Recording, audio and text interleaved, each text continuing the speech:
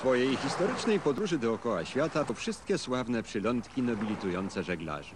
Dobrej Nadziei, południowo-wschodni i ten najbardziej nieprzejednany, groźny Cap Horn.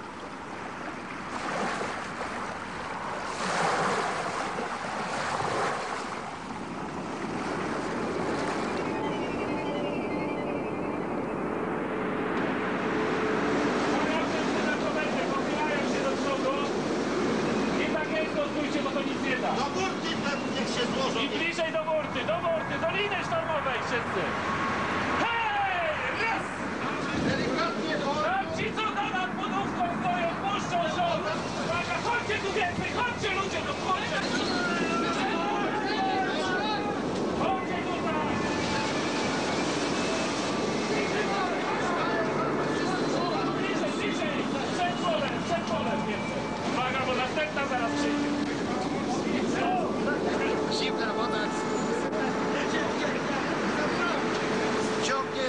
Normalnie, się tak, a czeka przygniat.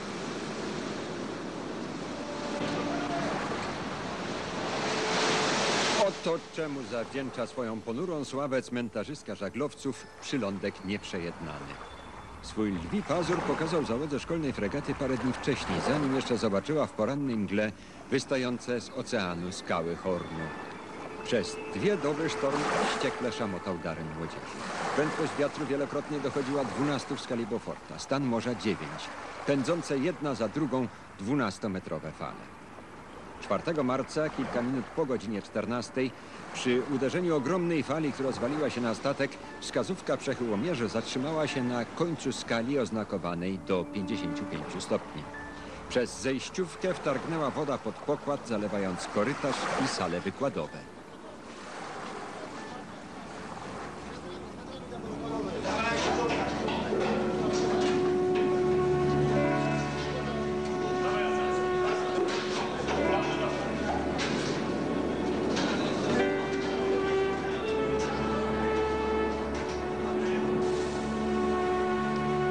Utrzymujących się silnych wiatrach nie trudno o rekordy.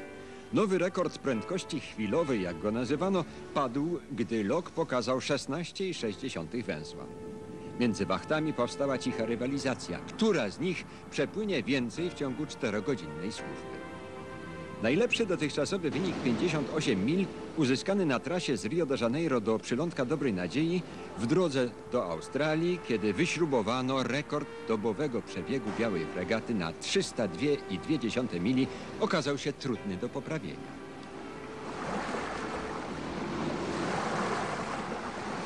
Huraganowe szkwały darły żagle. Fala jest martwa, dość duża, więc ze sterowaniem mogą być drobne kłopoty. Ale wystarczy, wystarczy sterować w miarę e, delikatnie. Nie,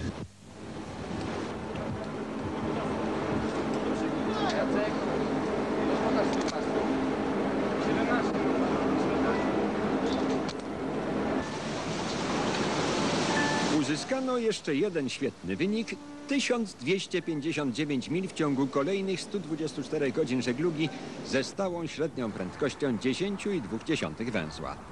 Takim wynikiem nie mógł się poszczycić żaden inny statek żaglowy w ciągu ubiegłego roku.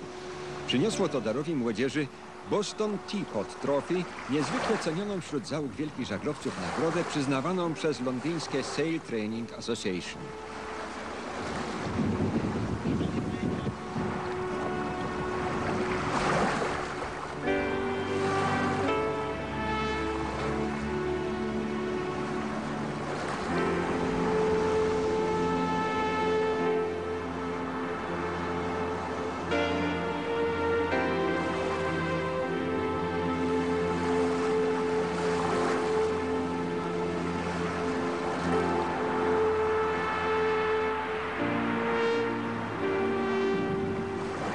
Czasie żeglugi w ryczących czterdziestkach i wyjących pięćdziesiątkach dokonano jeszcze jednego wyczynu. Okazało się, że przepłynięcie ponad 4000 mil morskich przez Pacyfik z Wellingtonu w Nowej Zelandii w pobliżu Cabo de Hornos w 23 dni jest niezłym wynikiem. Zaliczany do najszybszych żaglowców świata słynny kliper pocztowo-pasażerski z okresu gorączki złota w Australii Lightning konstrukcji sławnego Donalda McKeya docierał z Melbourne do Hornu w 19 dni. Ale jego kapitan dzień i noc warował na pokładzie z pistoletami w garściach, żeby nawet w największym sztormie nikt z załogi nie ośmielił się poluzować jakiejkolwiek liny.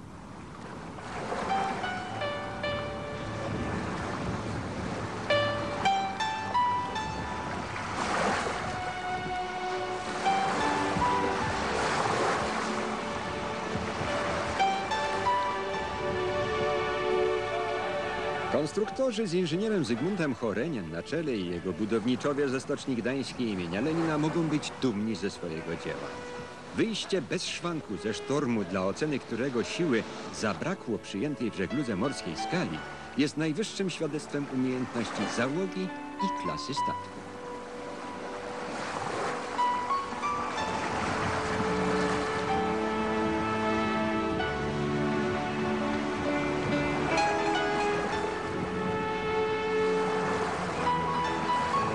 Bosman Kotowski ogląda skutki uderzenia kolejnego sztormowego szkwału.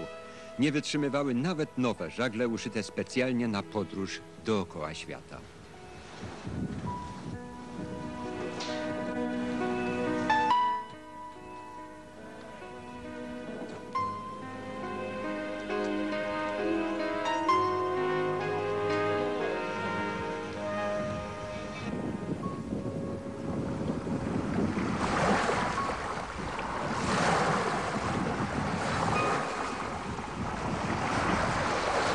Znane z silnych wiatrów i niemal bez przerwy przewalających się sztormów, niskie szerokości, którymi żeglowała biała fregata, po opuszczeniu Nowej Zelandii obchodziły się z nią początkowo dość łagodnie. Co prawda od czasu do czasu zahaczała o statek któraś z bardziej wiecznych ćwiartek wszechobecnych tuniżów. Tłukło się wtedy wszystko, co było zaształowane niezgodnie z praktyką morską. Ale młoda załoga szybko nabrała doświadczenia. Przy sztormie, pojmałeś.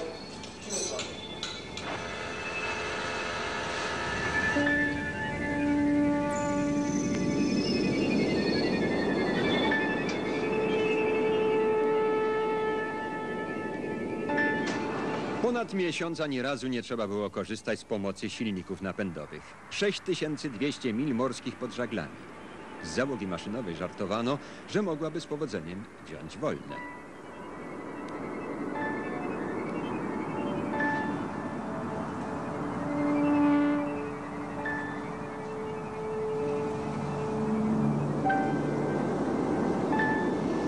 Przy długich przelotach między portami szybko jeden dzień staje się podobny do drugiego. Marynarze twierdzą, że po trzech tygodniach takiej żeglugi odbija szajba.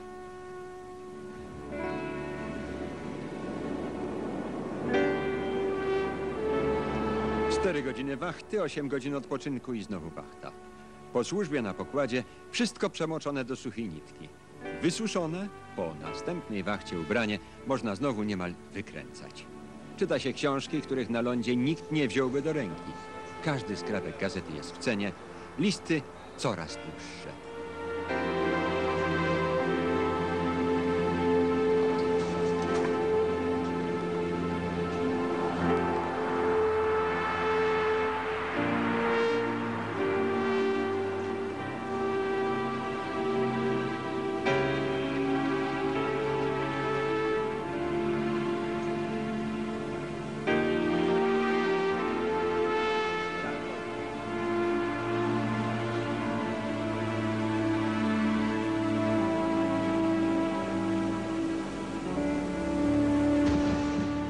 Równo w sześć miesięcy po wypłynięciu w podróż dookoła świata dar młodzieży docierał z powrotem na Atlantyk.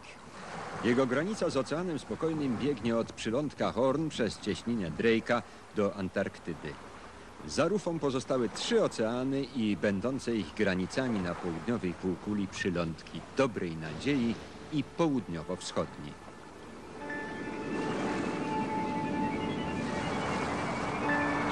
Pierwszy przy Hornie był korsarz Francis Drake w 1578 roku na słynnej Złotej Łani. ale swoją nazwę południowy kraniec Ameryki zawdzięcza Holendrowi Corneliusowi Schutenowi, który zobaczył go w 1616 roku i tak nazwał na cześć swojego rodzinnego miasta w Niderlandach. 55 stopni 58 minut szerokości geograficznej południowej. 67 stopni 16 minut długości geograficznej zachodniej. Dar młodzieży zbliża się do słynnego przylądka nieprzyjednanego. Po przepłynięciu 26 tysięcy 132 mil morskich Dar młodzieży z podniesioną biało-czerwoną banderą przy Hornie.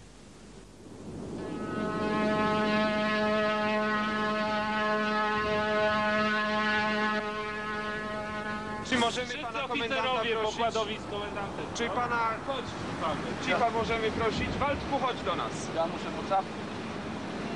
Dobrą mam, nie? Z kapturem. Morskie stroje. Tak to- Kurde, krytyku nie ma i teraz niski jestem. Dobrze, dobrze. Uśmiech numer jeden. Tak jest. Dziękuję. Panu dziękuję. Po raz pierwszy polska bandera pojawiła się w przylądka Horn zaledwie pół wieku temu. 2 marca 1937 roku przepłynął tędy dar Pomorza dowodzony przez legendarnego Macaja. 34 lata później, 2 listopada 71 roku, przemierzał te wody 55-tysięcznik manifest lipcowy ze zbożem w drodze z Australii, a później jeszcze inne masowce. W 1973 roku zaatakowali z kolei Horn polscy żeglarze. 23 lutego Krzysztof Baranowski samotnie na Polonezie. Cztery dni później bydgoscy kolejarze na Eurosie pod dowództwem Aleksandra Kaszowskiego, a w miesiąc później AZS-owski Konstanty Maciejewicz prowadzony przez Tomasza Zydlera.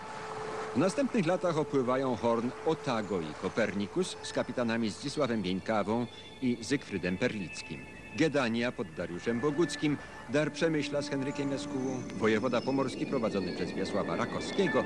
I wojewoda koszaliński dowodzony przez Ryszarda Wabika.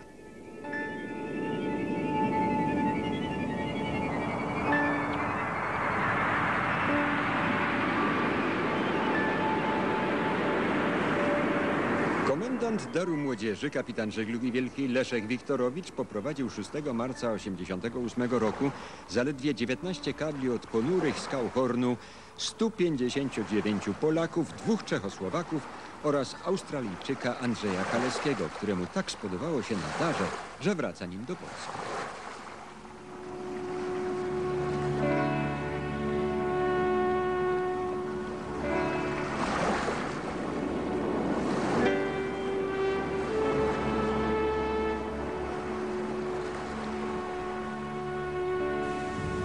Za chwilę rzucimy buty kapitana Jacka Blake'a, kapitana Jagendewera, który prosił, aby te buty, gdy statek będzie w pobliżu Hornu, wyrzucić. Komendant i drugi oficer. Przyniosą nam szczęście na pewno, tak dotychczas. Czesiu, ja lewy przez prawy. Ja prawy przez lewe. Pierwszy zaczynaj.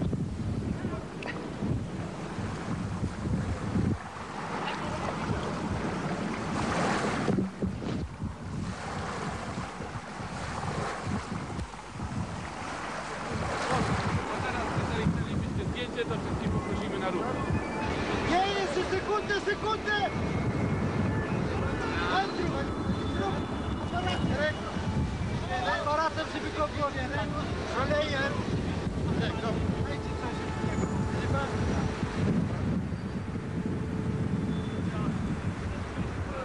Szalejem. Niecały miesiąc później Horn opłynęła załoga Asteriasa ze śląskiego jacht klubu ZSP PTTK pod dowództwem kapitana Henryka Sobieskiego, a 22 grudnia 1988 roku polsko-amerykańsko-radziecka załoga Pogorii dowodzona przez kapitana Krzysztofa Baranowskiego. Było to drugie przejście jachtu pod polską banderą wokół przylądka Horn ze wschodu na zachód.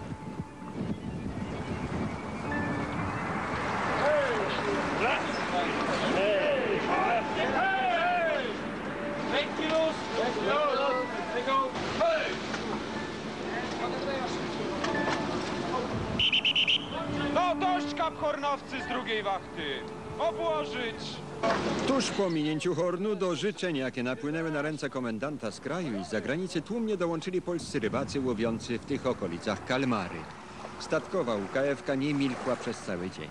Wypatrzył białą fregatę Chiefs Albatrosa Andrzej Kulik. Potem zgłosiły się Libra, Karina, Korwin, Humbak.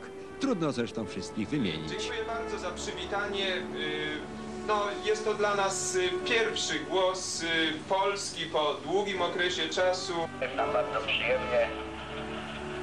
Jesteśmy już rok czasu w morzu i to dla nas jest naprawdę wielka atrakcja spotkać tutaj dar.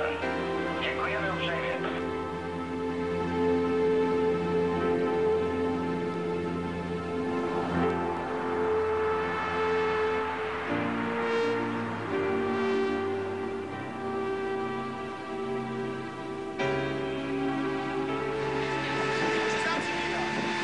Kilka dni później, w niedzielne popołudnie, wspólne galowe zdjęcie uczestników historycznego rejsu wykonane 102 aparatami fotograficznymi. A potem uroczyste wręczenie pamiątkowych medali i certyfikatów, które wszem wobec oraz wszelkim admirałom, kapitanom, oficjerom i marynarzom zacnym wiadomym czynią, że delikwent na sławnym korabie o szlachetne imię Dar Młodzieży noszącym pod komendą kapitana Leszka Wiktorowicza 6 marca Anno Domini 1988 o godzinie 7.15 czasu statkowego w wokółziemskim rejsie swoim pod żaglami z zachowaniem całego morskiego stosownego ceremoniału opłynął groźny przylądek Horn, tak jak to czyniły przed laty załogi słynnych kliprów i windjamerów.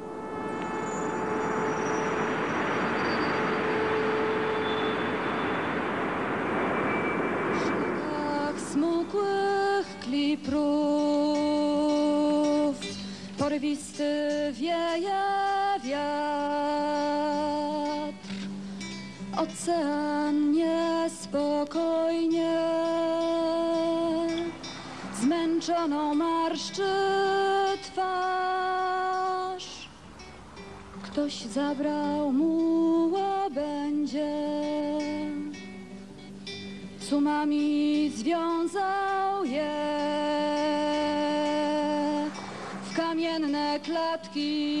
portu. Wciąż pozdrowienia ślę. Powrócą klipry na swój stary, zapomniany szlak, by bielą żagli nawoływać wszystkich nas. Zagwiszcze znów beztrosko w wantach, niecierpliwy wiatr. Ocean parsknie nam radośnie pianą w twarz. Powrócą klipry na swój stary, zapomniany szlak.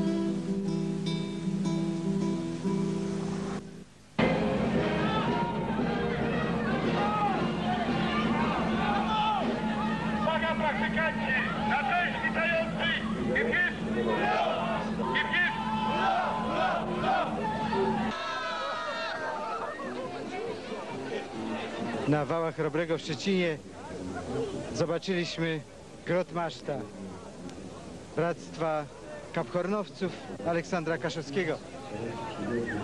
Na, na pokładzie białej fregaty przypłynęło 163 młodych kaphornowców. No więc to jest jeden z najprzyjemniejszych kłopotów, jakie może mieć Grotmasz Bractwa Kapkornowców w każdej narodowości. Było nas 54, będzie nas teraz grubo ponad 200. Dzięki między innymi komendantowi tej fregaty, dzięki tej fregacie, dzięki całej kadrze i dzięki wszystkim tym, którzy na tym pokładzie opłynęli trzy przylądki, w tym przylądek Horn. Serdecznie, że tak powiem, witam nowych braci w kraju.